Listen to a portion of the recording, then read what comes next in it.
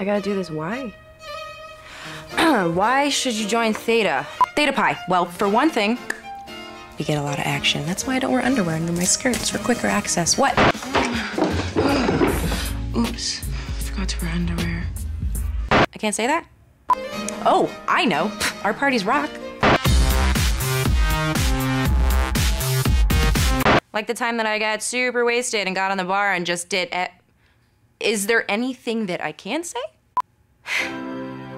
Being a Theta Pi has been the highlight of my four year college experience.